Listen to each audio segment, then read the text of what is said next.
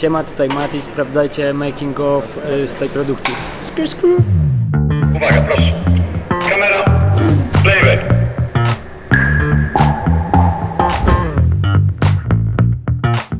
Spot mocno nawiązuje do obecnej sytuacji epidemiologicznej, w której przypomina się nam, abyśmy wszyscy nosili maseczki.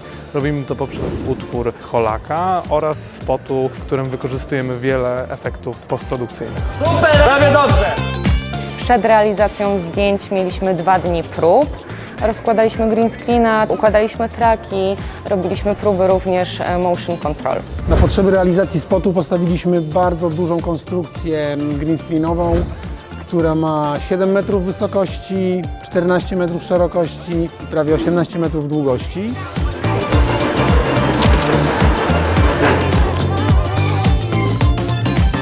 Gramy tutaj 180 stopni, więc musimy doświetlić wszystkie ściany oprócz tej, którą mamy za plecami. Gramy to wszystko na bardzo ciemnym obiektywie, więc potrzebujemy dwóch ciężarówek światła. Mamy 7 osiemnastek i sporo innego światła.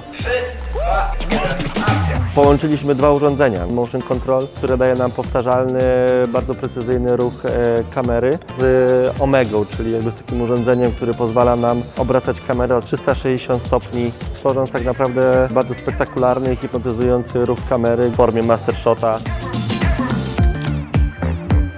Sztab najlepszych ludzi będzie pracował przez 3 tygodnie nad efektem końcowym.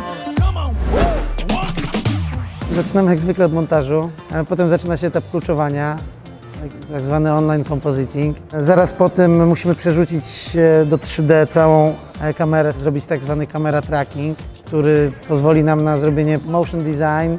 Równocześnie rysownicy rysują w 2D projekty na maseczki, które się będą ruszać oraz cały background. No i w tym przypadku tego projektu e, kolor korekcja odbędzie się na samym końcu, a nie na początku, jak to zwykle ma miejsce zaraz po offline.